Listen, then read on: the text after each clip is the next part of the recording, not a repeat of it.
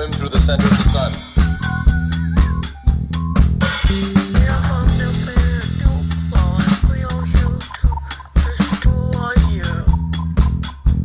Something's happened. Right.